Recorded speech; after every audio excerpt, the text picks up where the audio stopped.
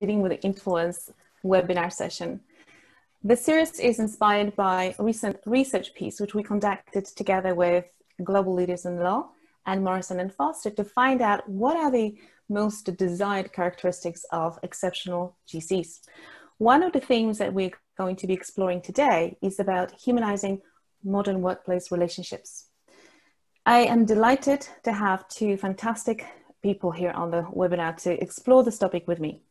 We've got Morag Barrett, who is a speaker, internationally renowned speaker and author of two books, and uh, somebody that worked across the world with leaders, enabling them to, to lead, to inspire, and to really create a positive change. We also have Tiffany Cheung, who is the partner at Morrison and Foerster. There are so many accolades, Tiffany, that I could um, really uh, talk about here today and how inspirational you are. I also know that you have been recognized to be the best of the best as far as the legal practice is concerned for client service. I will leave it at that because I think that there are some parts of each of our stories that speak to humanizing workplace relationships. So I would love to uh, each one of you to um, introduce yourselves, um, bringing the parts of yourselves that you would like to this workshop. A few words about myself. I'm Alex Lazarus, and I'm the CEO and the founder of Lazarus and Maverick. We are a global consultancy, absolutely passionate to find what it is that leaders need to rise up to in these challenging times. We perceive leadership to be an act of a whole person endeavor, and something of a P&L to us is is a picture of how organizations are relating to their people, to their ideas, to their soul and their potential. So, Morag, over to you. Would love to hear from you. Well, thank you, Alex. And I'm coming to you all from Colorado in the US, but grew up in and around the UK. And when it comes to humanizing the workplace, my first career was in commercial finance. And I can remember being told it's not personal, it's business. Well, throughout my career, I've turned that on its head. And I can tell you that business is personal and relationships matter. And if we don't focus, especially in 2020, on humanizing the workplace, then we all miss out individually at a team level and an organizational level.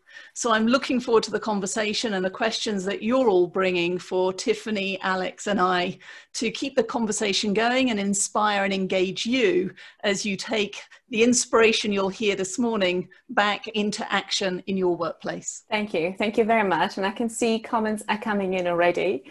Berit Ashla, welcome to the webinar. And if there you know, could ever be a better moment to talk about humanizing relationships.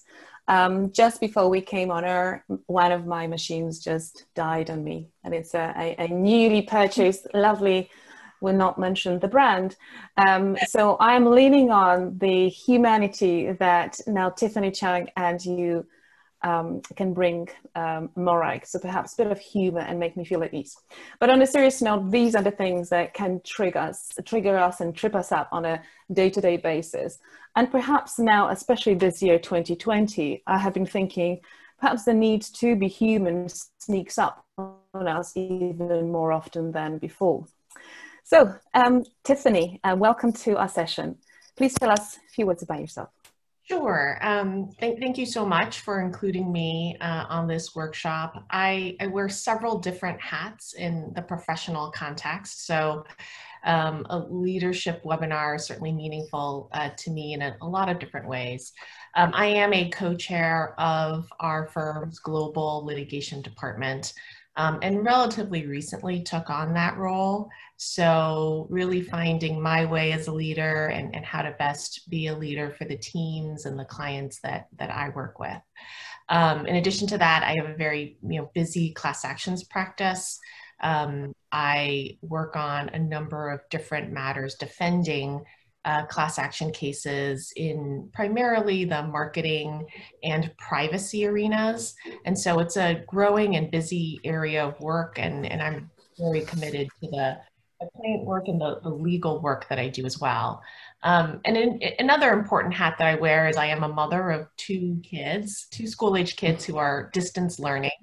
Um, so, so definitely, Alex, your your comment about being more human in in, in these times is is meaningful to me and certainly hitting home um, because you know while we're at home and working through our technology challenges, you know I have my kids on their Zoom in the room next door and hoping that they're not going to be barging in any any moment, but. Um, but those are you know kind of the things a little bit about my background and and why you know this topic is so meaningful to me.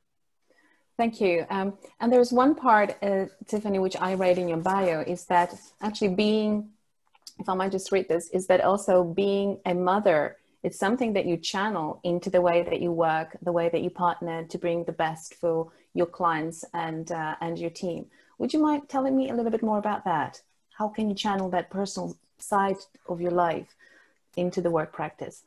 Yeah, absolutely. I mean, I think there are a number of different ways where I think bringing in one's you know non-work life can actually create a stronger team um, in the workplace environment um, because certainly in, in, the experiences that i've had where i've been working not only with internal teams you know other partners or associates but also with clients where we can connect on a level that goes beyond just the specific transaction, the specific matter at issue. Um, that has really helped, I think, to forge stronger partnerships among uh, again clients and, and other internal team members because everyone has you know can share a common bond outside of the work. Um, helps develop trust. I think it helps develop a sense where you know we're all in this together um, and that we have each other's backs because you know there are going to be some days that are more challenging for others and other days when people are stepping up and other days when you know we can commiserate over toddler tantrums or you know having a computer or you know the disciplining and the homeschooling that we're all doing. I mean all of that i think does create a stronger bond so that can work together in a way that is more productive. And I do think it actually does impact the bottom line on a business level too. It helps, I think, to minimize distractions. Um, that can kind of be in the back of your head if you're not talking about it openly.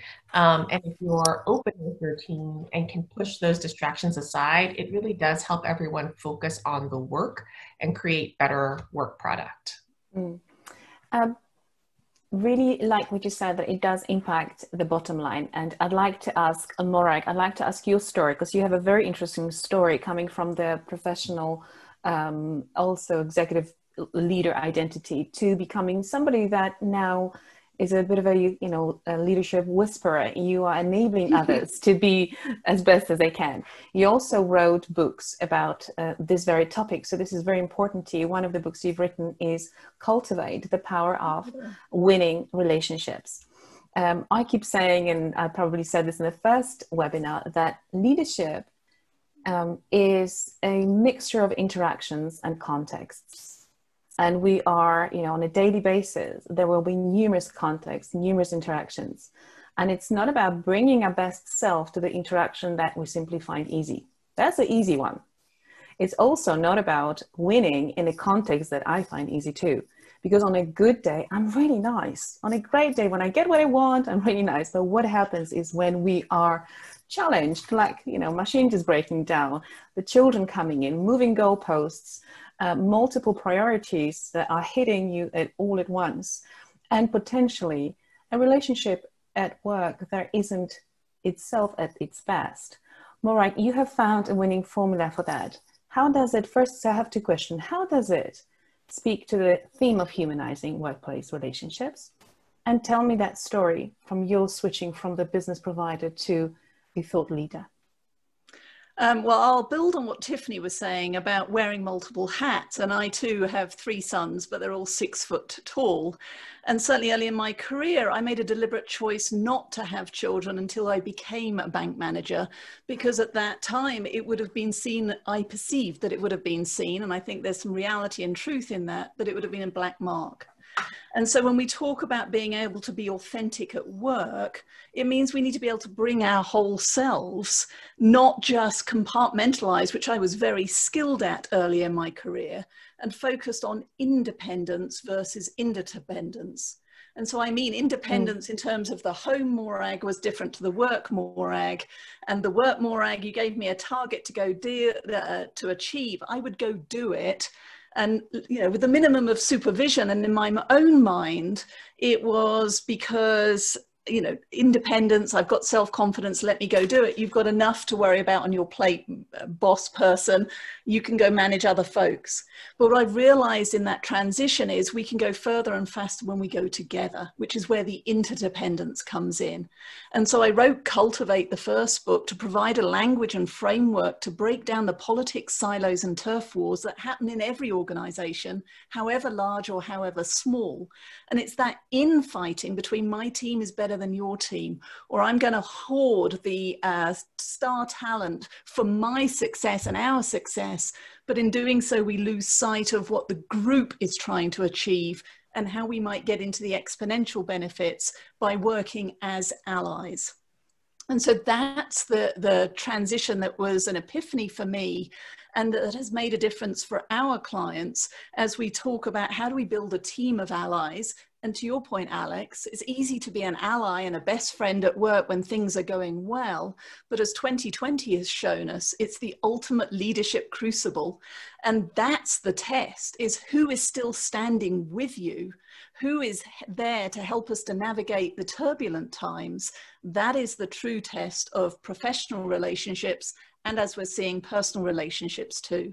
And if we don't focus on the human side, if we don't focus on these soft skills, I guarantee you're not going to get to the hard results, the mm. business results that you and your organizations aspire to. Thank you. And what was your transition and what caused you to move from being the business maker, so to speak, to being a thought leader? Was that to me? Sorry. Yes yes. So what was the transition? It was that uh, uh, lending millions of pounds to mm-hmm. companies back in the uk in my banking career and wondering well why is it what is the correlation between those that were successful and meeting their goals and their business strategy and cash flow forecasts? Mm-hmm. those were the ones that invested as much care and attention in how business got done and it doesn't mean they're skipping through the daisies, there's no conflict, everything's lovely. It meant that they made the mm-hmm. implicit explicit around how you and I are going to work together. When we do disagree on a course of action, how we're we going to resolve that and decide so that we can move forward together? And that is the pivot that took me from the numbers side of business to the people side and the work that we do through SkyeTeam in how do we build high performing leaders, high performing teams, and high performing organizations. Mm-hmm. Okay, wonderful. Thank you. I just also wanted to say a word to all our guests and uh, our participants and just have like, oh, we've got 109. What a lovely number. Please keep your comments coming in the chat. We would like you to take part in this conversation as well. So please feel free to say hello. Um, and if you have any question to Morag, myself, and Tiffany, absolutely use the chat to do that. It's uh, great to see you here. Um, I will share with you, I had a story. So when I was a marketing director at Disney, before I pivoted my career into the space in which you, Morag, and I are in now, I was I received a promotion overnight, and um, it was I suspected it would happen, but there were no formal uh, advanced warning, so to speak, to to hand it over to me. Of course, I was absolutely delighted, but as I was driving back home, I was thinking, I'm already so busy you know, I'm already married to my job. How am I going to now manage double amount of people in my team? And um, as I was driving, I just thought, we need to work less. We just, all of us, we just need to work less.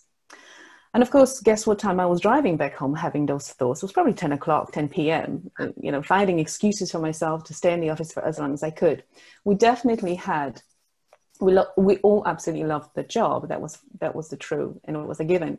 But we also had what I would say an unreflective achievement culture where you didn't stop, you didn't think about what's happening to the rest of your life. So the following morning, as I came into the office, I looked across the floor and I thought to myself, which one of my direct reports has a fulfilling relationship? Which one of them has engaged in a hobby recently? Which one of them had gone to the gym during lunchtime?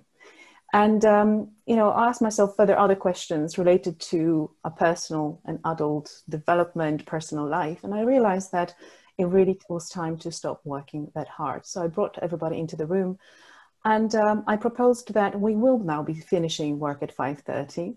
It took us about a month to really get everybody out of the office by 5.30 but it happened. It took us a while, and the other uh, executives had to really get used to our internal change of culture. We had to explain ourselves why we were doing that. Uh, we also, I've also told people that my office door is open. By four o'clock, it is closed because I'm winding down. I'm doing the things I need to do to tidy up in order to go home on time. And it's that feeling when you suddenly find yourself in your area of London at 6.30, the sun is still shining, you see people in parks and you think, I should be at work. My goodness, I'm out here now. I have to admit, uh, to what you were saying, and you, Tiffany, that it really is paying to the bottom line when you merge and humanize your life, not only workplace relationships, because the amount of motivation that I received from my team and creativity was exceptional. We also had a office policy to say that whoever is staying past six o'clock needs to tell the others why. If it's a case of I'm just checking Facebook, that's okay. But if it's case of because I'm behind, let's talk about it. And that was for us, it was a very um, really nice time when we transitioned from being obsessed to our work, eating cornflakes and pizzas at 10 p.m. together in the office, to actually having lives and and and growing and developing as individuals. So, thank you, Eric. Thank you. So, um, I I would like to also just introduce the concept of why humanizing a workplace relationship is, is important, even beyond anecdotal, what we know from Tiffany and Morag's your stories. There has been, and, and there is an increasing uh, research coming from various strands of psychology and organizational psychology that talk about how important it is our sense of belonging, our sense of relatedness and safety with other people. Uh, I see, you know, I'm thinking, why, you know, I, I do remember working when paycheck was just almost enough for me. Yeah, when I would tolerate so much, this is a long time ago. But I'm seeing that people are not after that paycheck anymore to the extent that maybe, you know, we saw in the 90s, for example, you know, back in the 20th century, which we were the catapulted from the Second World War into job opportunities like we've never had before. In fact, I think the workplace has never been as robust in social studies as, as maybe 100 odd years ago. So we are going through the most fantastic period of uh, everybody's lives for those who want to work, apparently, that we have that variety. And yet we are now seeking more purpose. Do you know why this might be happening, Morag? Well, uh, that just reinforces the research that Dr. Linda Sharkey and I did for our book, The Future Proof Workplace. And certainly, as we start looking at Generation Z, that whole purpose and is what I'm doing not just giving me a paycheck and adding value, but is it filling my soul and adding value to the broader community continues to drive what do we define and look at as a career and a workplace in the 21st century.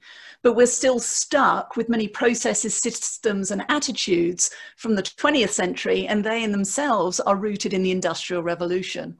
And here's what I know from the work that I've done um, with leaders around the world is that there are four questions that underpin every business relationship and every personal relationship, but certainly every interaction at work. And the first two questions are Can I count on you and can I depend on you? These are transactional in nature. These are my business, uh, my banking career relationships. Can I count on you to do your stuff so I can get my stuff done and I can get out of the office by five or six? Can I depend on you to be proactive and go the extra mile, give me warnings of impending disaster? And often, this is where many organizational cultures and business relationships start and stop. You do your stuff, I'll do mine, and we'll be okay. But at the pace of change, that's not enough. We need to get to yes to the two transformational questions mm. Do I care about you? And do I trust you? Now, if you go back to January in this year, when we worked in the same office and I saw you every day and we went for the occasional lunch and I met you for coffee in the break room, it's easy to have four yeses. But here we are in November nine months of working at home I've got my mm. kids that I'm trying to get onto online schooling. I'm sitting here in my bedroom or wherever it is. So, can you mm. count on me? Maybe not as consistently as you thought because I've got all these competing priorities. Mm. Um, can you depend on me go the extra mile? Well, maybe, but I've already got 101 different calls on my uh, time do I care about you? Well, I have no idea because you haven't just called to see how I'm doing. You only ever mm. call and Zoom me when you need something. Mm. And therefore, do I trust you? Maybe not. So those four yeses have become four, at best, maybes or four no's, which brings us full circle back to why focusing on the human side, the connection, that sense of belonging is critical in mm-hmm. 2020 and certainly as we're looking now for this marathon sprint continuing into 2021 mm. thank you i just noticed everyone that we have two three questions in our q&a and i'll pause to uh, read this out to you so uh, one that uh, I'm, I'm, I'm wondering we could probably tackle here now is being a human in the workplace is quite stigmatized as a female quality do you think this is a problem? How can we encourage men to realize it's in their interest too? So I think it can be quite a controversial topic, depends on the type of industries uh, we work in. Uh, I, as a mum of three sons, I have been very interested in knowing the male psyche. Um, but I wonder, Tiffany, if uh, you have um, any thoughts on that? Yeah, I mean, I, um, you know, I, I, I, certainly, the legal industry is an industry that is, um, you know, probably has challenges with that are similar along those lines. I, I certainly know that um, in terms of humanizing teams and making sure that your teams are high performing, I, I certainly believe that that's, you know, an important principle to, to take to heart whether you're male or female. Um, and gender doesn't matter because at the end of the day, it's so important to have that personal investment for your team members. And, you know, taking some examples that, that, that you all raised with respect to just some of the more junior associates who are in different generations, you know, that's, I think, also not gender specific. I mean, there are um, those in those generation that have certain maybe some expectations to grossly generalize. Mm-hmm. Um, I do think that it's been helpful to have those who have been in the, in the profession for longer to really rethink the way that we um, that we are forming teams and that the way that we are leading teams. Um, that personal approach and and um, to take Morag's words, you know, showing that you care uh, mm. about your teams is so important. Um, and whether that's with a client um, or with you know your internal team members or those who you are supervising, um, and and this you know really does this topic really does make me think of um, the situation where you know at our firm we have this kind of 360 feedback system where we ask the associates to provide feedback to the partners who are supervising them. And I recall this one comment someone told me about where an associate had said um, about this partner, you know, I would jump into a group of alligators for this partner because mm-hmm. I knew that partner would do it for me. Mm-hmm. Um, and you know, it's that that level of investment in your team mm. that I just think makes the team so much stronger because everyone knows that we all have each other's backs. And this is not, you know, a gender specific thing. Everyone should have each other's backs. Mm-hmm. Um, everyone should feel like they care about every single person's success because when you show that to your team members, they will show it, they will demonstrate it towards you as well. Mm-hmm. Um, so it is just something that it is true that I, I think when people talk about being caring and actually humanizing, they think mm. of it something of a gendered characteristic. But really, when you talk about it in a way where you want to have your teams back, you want to mm. be able to invest in your team members, that's, you know, that's not a characteristic um, that I think you can think of as either be, you know, being more stronger with one gender or another.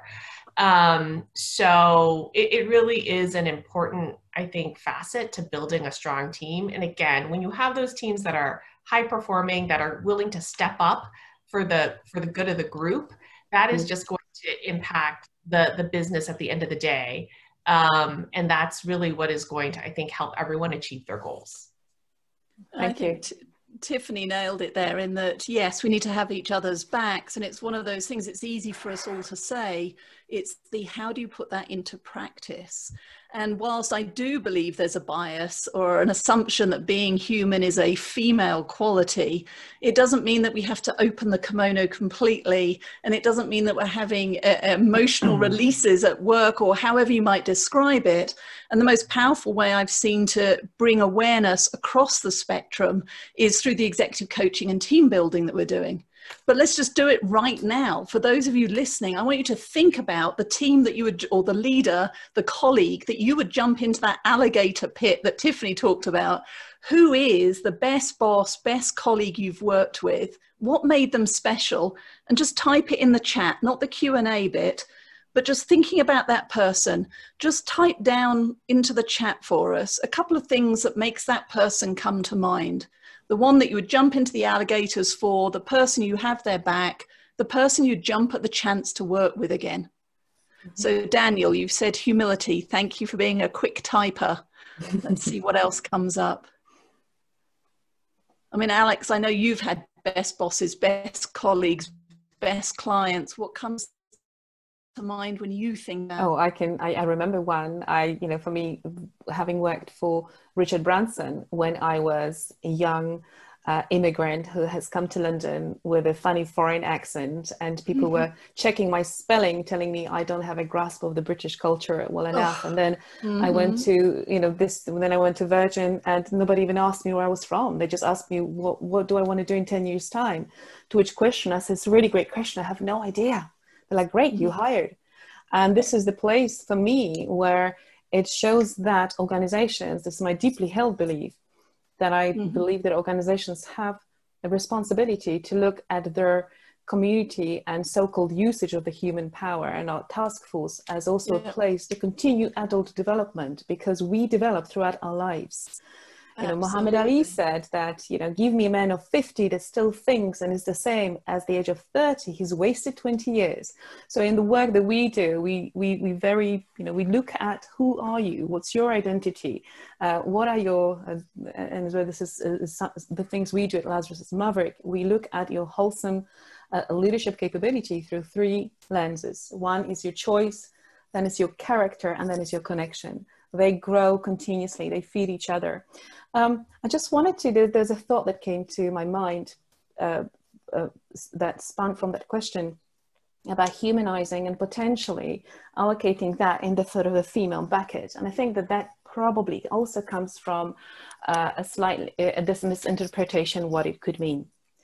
Uh, mm-hmm. right so, because this is not about sorry th- there was another study that we um, together with lumina learning who uh, very kindly collaborated with us on the upcoming Leading with Influence report, where there was a, a study done on what were the true differences between female and male uh, psychometrics in relation mm-hmm. to empathy for example, and being acquiescing, acquiescing a collabor- collaborative, etc., there hasn't really been a, a, significant shift or a difference between the genders. So, what you were saying, Tiffany, this is not necessarily the intrinsic and the nature. It is nurture. We know that you know there has been certain stereotypes that only in the last five years has been have been a challenge, whether it's a blue or a pink color. I know Mattel are doing amazing work in getting really kind of the gender conversations, uh, making sure that you know we do not follow those stereotypes. Um, I I am confident that by the time my kids hit workplace, um, what's considered to be human is the personal decency.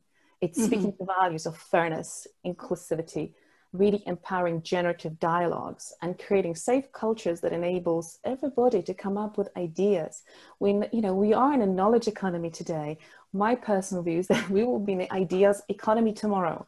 Knowledge will just not be enough. We'll not have enough use cases, as we see even now in certain expert-driven industries. We have to be creative, and to be creative, we have to feel safe. We do. Oh, I love that. And safety is a, a, critical one. And when you look at all of these characteristics that people have shared compassion, standing up for me and the team, empowering, going back to what you described, Alex, about giving opportunities and seeing potential in you. Um, it is all about the human side. Mm. And when it comes back to the original question that sparked my thought, you've just done your mini survey here. My guess is that all of you were thinking, some of you were thinking of male leaders, some of you were thinking of female leaders. So going back to the original question, is being human a female quality? No, because you've just proven it. And it reminds me of the Maya Angelou quote people won't remember what you did or said, but they'll remember how you made them feel. Mm.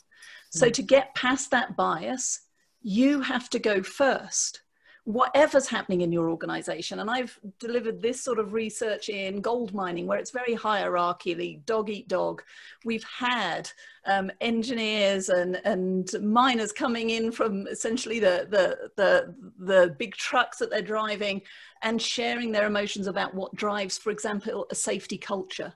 So here's my challenge to you. The person that you were thinking of as you responded to my question, I want you to send them a LinkedIn message, send them a text, send them an email that says, hey, mm-hmm. we're on this webinar thinking about best colleagues. You came to mind and here's why. Mm. And in doing so, you're breaking down these barriers, you're demonstrating what it means to be human, and you're building and nurturing a sense of connection that may have just been on soft boil. Well, now you're heating that relationship back up again take the time to connect. It makes a huge difference.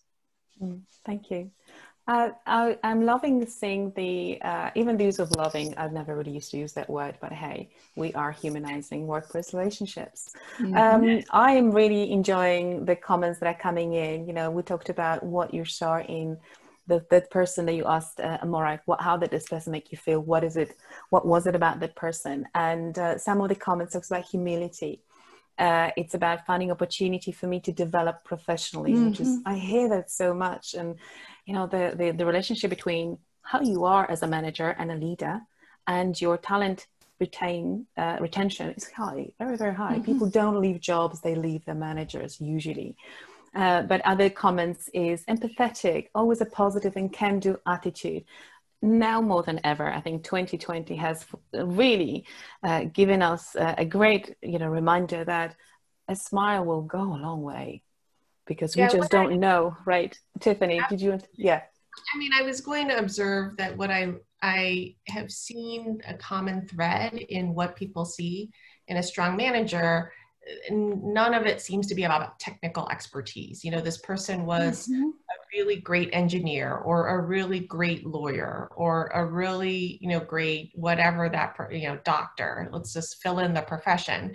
Um, it is not about technical expertise. And even though many of these supervisors and managers probably did have that but the focus on mm-hmm. being a good leader is really more on the softer skills and that's what people remember and that's what mm-hmm. people take away with them um, and that's what will help build the strong team. And I also love Morag's um, suggestion to folks that they reach out and let people know that this is what worked, this is what impacted them. Because mm-hmm. when you tell people and give people positive feedback about things they are doing right, it's going to encourage them to do it more um, and, and have that impact on even more people down the line and um, be able to grow that strength. So I think it's also really important to do that not only with the folks who are supervising you, but the folks who you know you may be supervising and report directly to you. You know, give credit, thank people for doing a good job, um, and at the same time, you know, if there is feedback that could be given, you know, either up or down or sideways, mm-hmm. uh, to help someone improve, give that mm-hmm. feedback because you know then it'll show that you're invested in that person and then it'll hopefully also help that person do a better job. Thank you. I would like to uh, ask uh, we have another questions from q&a um, so i'll just would like to swiftly move into that as well. And just a comment about the upcoming leading with influence report. Some of the characteristics uh, i will not mention all of them here but the one trait that came overwhelmingly as one of the top six is working together.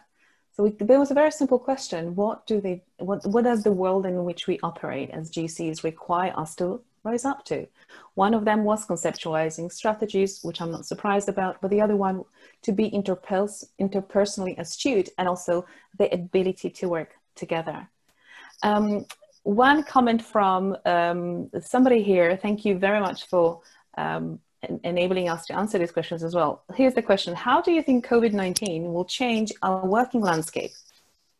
Will we see permanent changes? And what will this mean to the General Counsel as a leader and the culture of the organizations? Tiffany, could I just ask your perspective from the legal perspective? Because what Morag and I can bring is tons of other industries, but I'm particularly keen on your view whether COVID 19 working from home and all that we have seen are going to make observable practical shifts in how we work yeah i, I, think that it, it will and on the most kind of logistical practical level I do think that before the pandemic hit, there were probably some companies, some you know firms who were more reluctant to have widespread remote work, just because everyone is used to being in the office. That's you know everyone does um, appreciate it, you know, as do I, the ability to walk down to someone's office and pop in and ask a question and, you know, have that kind of spontaneous interaction, mm-hmm. um, which I do think there's a lot of value um, in bringing. But I, but I do think people have also acknowledged that you can be quite productive. You can have strong teams even when you're not necessarily physically in the same space every day or every workday. Um, and I do think that that attitude shift does enable for more flexibility for, for people who are dealing with things at home. You know, there probably are going to be situations where whether you're working at a large company or at a large firm where, you know, you're just not, it's not going to be convenient to be in the office because that's the day, you know, you have a parent teacher conference or you have something else that you've got to deal with. And I do think that it's going to become more, you know, accepted given that we have seen that there are lots of attorneys um, in the industry working very productively, um, even though there is not as much you know, quote unquote FaceTime or ability to see people in the office anymore. So I do think that that's um, been a benefit in just allowing more flexibility for people to work when they you know when it when they can work and to your point alex like it's mm-hmm. you know not going to always be at the same time as everybody else but you know when when you get the work done um, so I, I, think that that's that's going to certainly affect a change mm-hmm. um, as we as we get out of the pandemic Thank you. And I, and I, suppose what's shifted really, and I'm listening to you and I'm thinking about some of our clients. We run a leadership development session last year, 2019, in September. And one of the big, big things that was at that time being discussed is how do we allow people to work from home? And that discussion was laden with fears and assumptions that people would not work very well at home.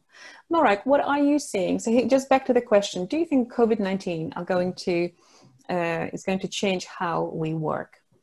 Well, I think it has changed how we work. And the key here is, is what of what are we doing to embed success for the longer term? So in March, when the first work from home requests came out or orders, we reacted. It was hair on fire. It's can you grab your laptop and go? But don't worry, we'll be back by the summer. We'll be back by the fall. We'll be back, oh, sometime next year. And what that has meant is that organizations have adopted good habits and poor habits. Mm-hmm. And now time, I think, to make the implicit explicit, to recalibrate what does it mean to be part of this organization and the culture. Whereas before you had the mothership with the pretty couches and the break room, and you got to know and feel what it meant to work for this organization. Well, now we have 5,000 head offices as we're all working out of our um, own homes. Mm. So, talking about how do we role model um, teamwork? How do we role model collaboration? How what needs to change? And certainly, what I'm seeing with clients is things like office hours. I will be here at my desk. My Zoom room will be open at four o'clock every Thursday. Drop in, don't drop in. I'm here for those impromptu conversations that Tiffany mentioned. We're getting more creative around how do we replace the water cooler ad hoc conversations with structured spontaneity. And we're also integrating work back into life by, say, having no meeting times from 8 till 10 in the morning so that we mm-hmm. can get our kids onto online school. But doing that is one conversation at a time and making the implicit explicit. Don't assume that even the people who report to you are working from the same page and definition of success. Mm. So I would encourage you all to invest the time now in having those conversations so that you can move forward together. And where there is a disconnect and the old presenteeism is your jacket on the back of the chair, you need to be there from 10 till 3. Well, let's be clear about what that is so that are, we're not blindsided. We do, as somebody said earlier on, feel set up for success versus being set up for failure. Mm, thank you. Thank you, Morag. Um, the I really like what you said about definitions because we do have different definitions, even of one the same thing. What I, would I recommend leaders do if you have a team is to even ask each member of the team in a team exercise, what are your deeply held values um, that really need to be a part of this team? Otherwise, if this value is not here, you're just out of here. Now, I know that companies talk about values a lot, but this is taking it to a slightly different level. Once you have got written those six values, then ask your team members to lay them, you know, could be on the screen, could be merging them in a PowerPoint, get people to vote for the ones that are the most important for the whole group. You'll be left with six, um, respecting that, of course, those that have not been perhaps, you know, voted up on by the majority are still very important and we respect those too. Once you have those top six, ask people to list 10 different behaviors that express and demonstrate mm-hmm. that that value is lived up. It's amazing. You will see that if I, whatever I think is respect to you, Tiffany, mm-hmm. to you, Morag, to you, Daniel, could be something different and it's the, it's it's defining what it actually means as i say to my children i say to my nearly 13 uh, year old saying respect is a verb that carries a lot of different behaviors here. It's not just the word. Um, uh, daniel i really like what you're saying here. Daniel slattery mm-hmm. thank you for your comment. You were saying here to the point uh, of one of the panelists we should not miss the opportunity to say thank you or a job well done or to report um, to a uh, to, to, excuse me or a teammate too often in my experience managers miss these opportunities when they arise. These interactions build connections that bring uh, being going forward. Thank you. That's a very um, a very nice thought as we are moving on to the, mm-hmm. the remaining part of our webinar. And i can see um, there are so many fantastic comments which i really hope that while we are holding the conversation um, all our participants and uh, still we're going over 100 this is really good guys. 100 of us here over 100 of us here still on this webinar.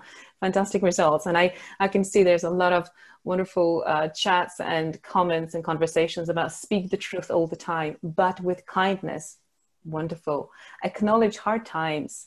Um, we have true soft skills. I continue to think is you know strongly soft. It's uh, it's it's really way forward.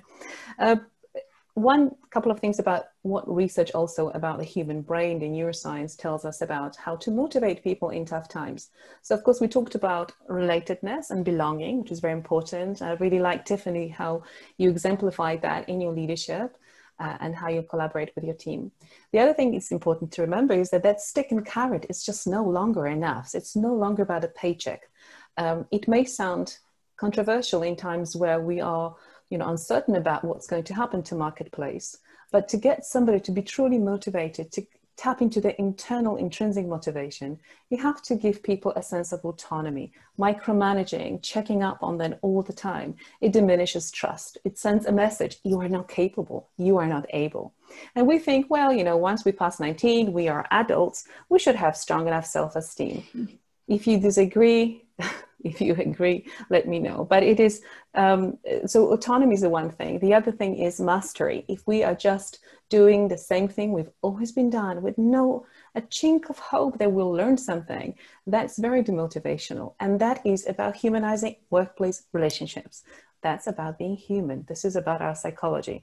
If you're interested to uh, find out more about what drives people, there's a great book called Drive by uh, Daniel Pink about exactly that, how we've moved from understanding of motivation to what internally drives us and how it can give people some superpowers where even on a bad day, they can perform really well.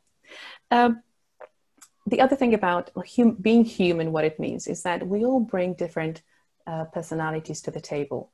Some of us are great and capable of taking charge and being very highly logical and being very sociable and demonstrative, you know, smiling, you see what you get. And then there'll be other people who needs a bit more private space.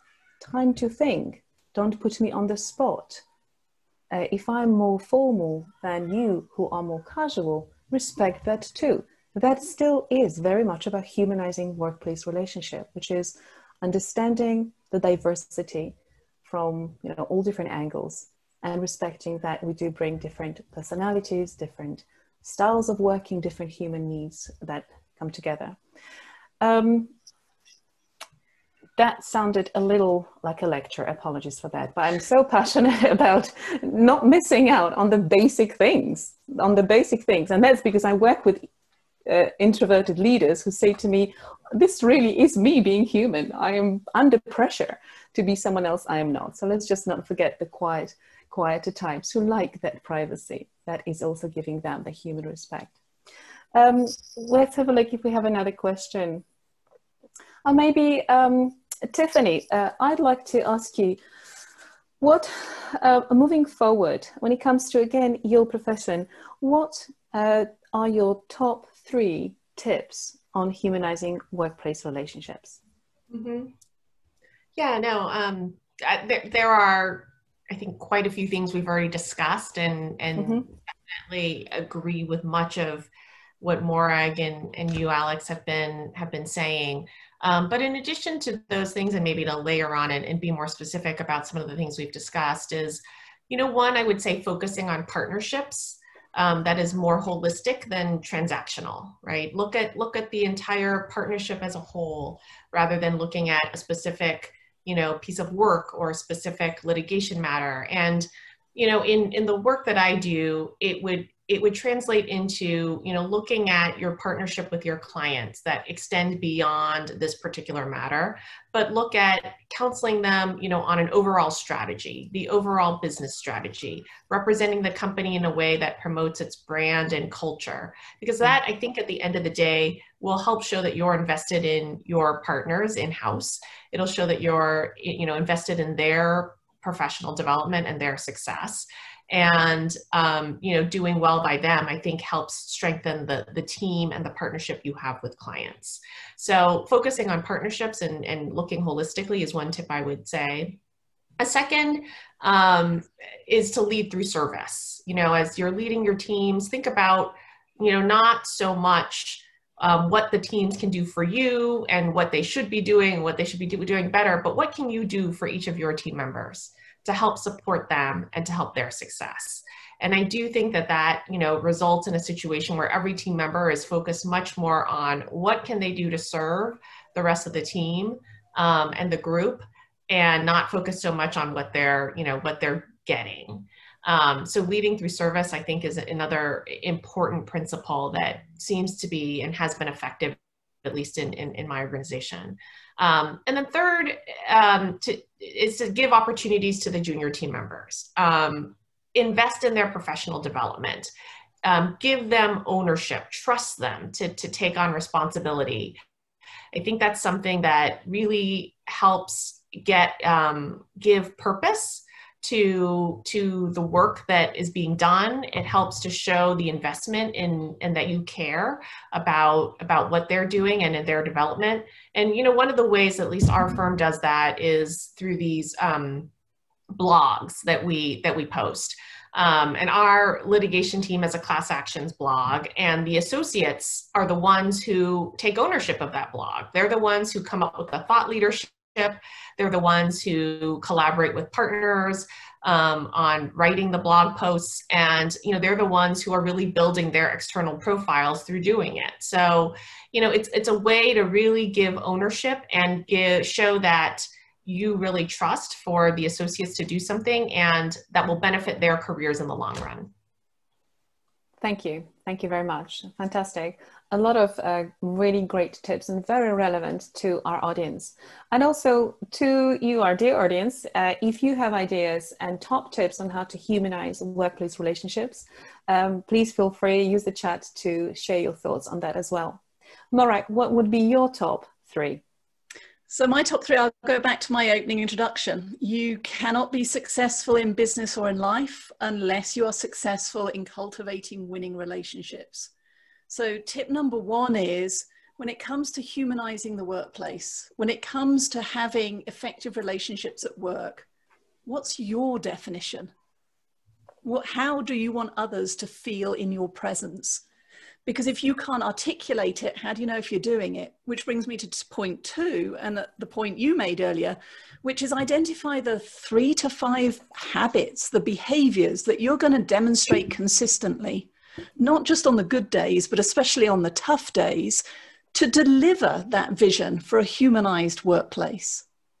And then tip number three is to pause long enough on your hamster wheel to learn and adjust, to reflect on did you do your best to demonstrate those behaviors, to create that environment and to humanize your workplace, to seek out feedback from others as to what they value in you and what you could do differently to help ensure their success.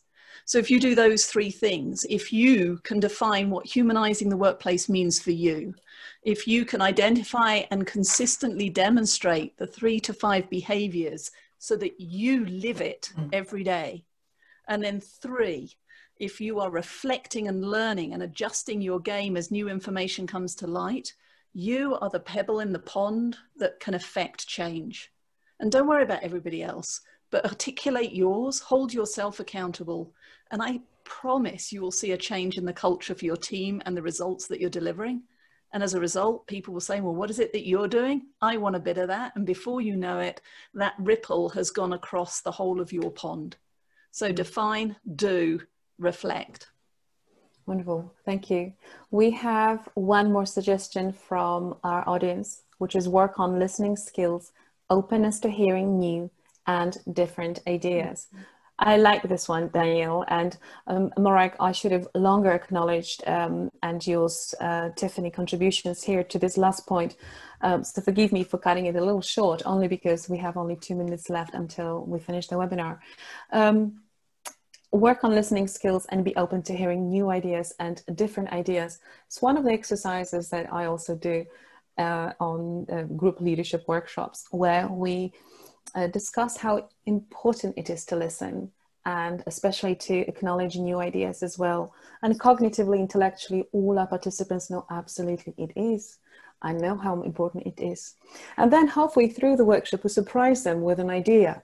And the facial expressions that come upon them, which they're not aware of, are um, obviously they're, they're, they are there to make a point, but we are saying it shows it just shows on your face when you disagree. You have to, it's not just about putting on a fake face, but internally really asking yourself, even if the entire idea isn't great, which parts of the idea could be good, could be explored further? Can we chunk down silly, crazy, uh, uh, radical ideas and pick and tease something out of those ideas that really could improve processes, maybe not here, but somewhere else. It really is about opening conversations in a different way than we've had them before. Non-linear conversation, using a more creative tools, which I'm you know big fan of, whether it's agile, whether it's different coaching questions, whether it's um, using uh, uh, debating skills even you know some some of the uh, children are making those who have had debating skills uh, lessons in their curriculum, they tend to do, do much better in the workplace later on because they have been taught what I call also practical empathy, which is if I can't always know how you're really feeling because I'm built differently internally, my DNA is different, I might be scoring quite low in empathy in my psychometric tests, but practically, I have trained myself to shift into your perspective. And if I still don't know what is it like being you, I can ask. I can have the courage and tools to ask these questions. What's important for you in this? What's in it for you? Uh, so that conversations are flowing in the right direction, where really being human means who we are and how we are is not diminished by a surprised face or a roll of eyes. So, what will be the last thought, Morag, from you? It's been really wonderful having you here. I always loved hearing uh, your your keynotes and how you talk about your work. And can I just ask about those earrings that you're wearing? So this is a gift from one of my team, Ruby. And if you want to know how about humanizing the workplace, she sent them to me completely out of the blue and they have had a ripple effect. They were my favorite at the moment. And so it is, it goes back to, I think it was Daniel who said earlier on, just saying thank you, just catching people by surprise. Just because we're working in a disconnected environment doesn't mean that we can't forge the connections that humanize the workplace and create that sense of belonging. So that is where the earrings came from. I'll send you a link afterwards, Alex. yes, please. I really like them. And what a wonderful story. As you are, you know, there's you know, he's all dangling there. You're surrounded yeah. physically by your team members. well, I have recently, last week, I received a postcard. And you know, how often do you really look at that sort of mail mm-hmm. at the bottom of the of your front door? But I picked it up and I just thought this lady looks like someone I know. And of course, this was a, a former colleague of mine. And on the back of the postcard, it says, I miss you. And that really made me very teary. That was a oh, beautiful mm-hmm. touch. That's a, just a beautiful gesture. Um, Tiffany, what's your last closing thoughts from this session? Yeah, I mean, my last closing thought I think is is similar to to what we've heard, which is uh, absolutely give credit to people, give credit where credit is due, and do it publicly. You know, when people do things well and um, and you appreciate the job that they've done, you know, let everybody know um, that this success, this win in litigation was because, you know, this associate came up with this great idea. Um, and so I, I, just think that giving acknowledgement and credit where credit is due is so important and meaningful to people. And then it helps encourages um, that positive behavior moving forward. Wonderful. Well, thank you. Thank you very much, Tiffany Cheung, a partner from Morrison and Foerster. Thank you so much, Morag Barrett, CEO and founder of SkyeTeam and author. Thank you, Global Leaders in Law, for getting us here together. And uh, thank you to all the wonderful people who have been with us, who stayed with us, uh, commented. Uh, so many great comments. Even now, I can see from Susanna, thank you, encouraging people to grow and give their best. Triggers mm-hmm. our own professional success. So, that is probably the best thought we could close on. Thank you, everyone, so much. And I look forward to uh, meeting you all again to our third and final edition of this series. Thank you. Thank you. Thank you. Thank you so much, Alex. Thank you, everyone.